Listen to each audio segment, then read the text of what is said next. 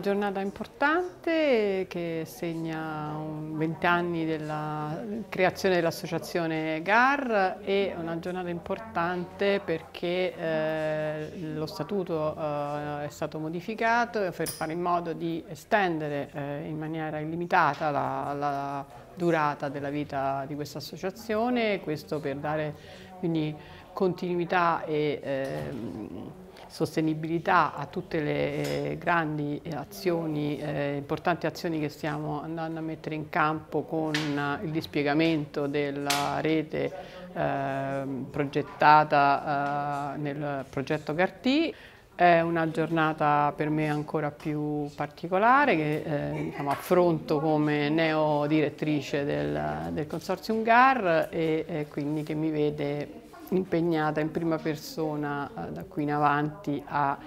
eh, in questa eh, azione importante del progetto Cartì, ma anche in, nella, accogliere nella compagine associativa eh, nuovi, ehm, nuove istituzioni, eh, in particolare quelle della, eh, delle discipline biomediche che complementano il quadro eh, complessivo delle, eh, dei soci eh, fondatori, eh, aderenti che via via nel tempo si sono aggiunti a GAR, riconoscendo eh, collegialmente che eh, una infrastruttura unita, unica su tutto il territorio nazionale per, questa, per la comunità dell'istruzione, dell dell'accademia e della, ehm, della cultura e della ricerca è un bene pubblico